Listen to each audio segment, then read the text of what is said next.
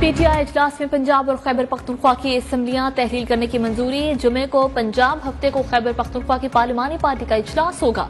उसके बाद असम्बलियाँ तोड़ दी जाएँगी।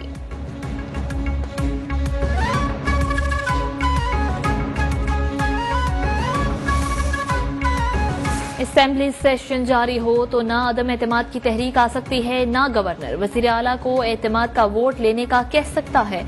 सबक secretary general election commission Kunwar Dilshad की न्यूज़ वन से गुफ्तगु कहा इजलास जारी हो तो असेंबली तहलील भी नहीं हो सकती।